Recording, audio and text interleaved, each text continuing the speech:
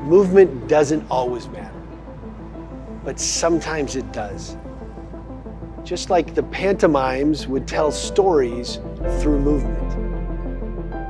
We at MIME believe movement is a powerful way to convey story, to convey information, to convey concern, to convey behavior. Movement matters. If you ever played sports and you had a coach trying to convey what you should do in the next play, they would have X's and O's on a board.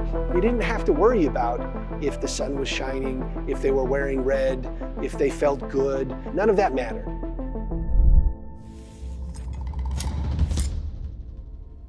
To bring MIME to life, it requires the best that AI, machine learning, and computer science has to offer. You say, well, it seems fairly simple. Well, it's definitely simple in the components we need to do. We need to detect people. We need to locate them. We need to understand their path through a space. It requires it in a handful of areas, fairly simple to understand, complex to execute. So in addition to detecting them and positioning them, we have to know their path through the space. So three devices may pick up a person as it's walking by. This helps us overcome occlusions or things that might be blocking it from one camera. But we're able to generate this path from one movement to another.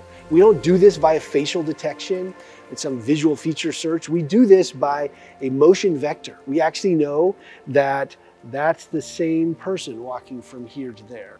And that requires uh, methods from other industries, including aeroastro, as well as computation.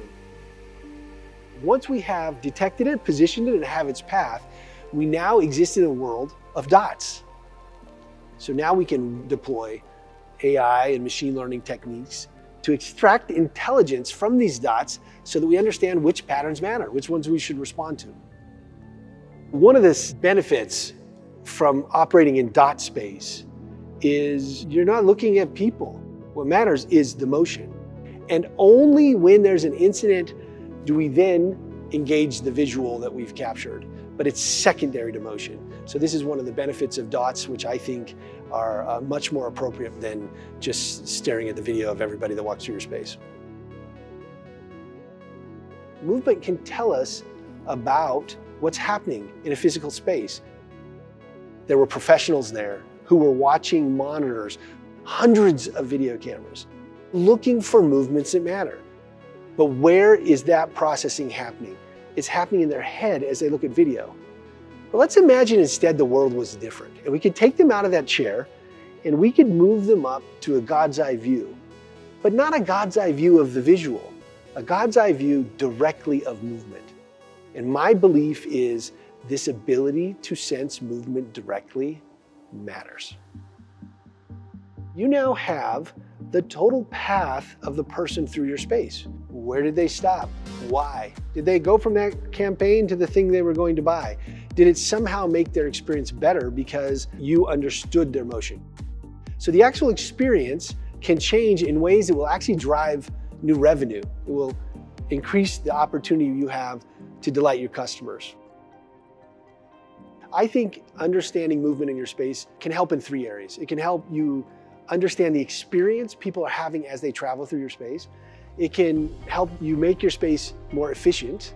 And to do that, we will be able to see if a gate is backed up, if uh, someone's fallen, if an escalator is not working. These things will appear immediately, which allow for immediate response, but you also collect that data every day over the course of all your buildings over all of time, which will help you redesign buildings in the future or modify existing buildings to make them more efficient. And finally, from a safety standpoint, very simply, when you're looking at motion space, within a second, we can trigger off a motion pattern that's concerning. So if you see a bunch of dots that then scatter, um, maybe they're playing a game. Maybe somebody's just pulled a gun. Regardless, you can see that. You can make your space safer. So the real question for us is we know what MIME can do.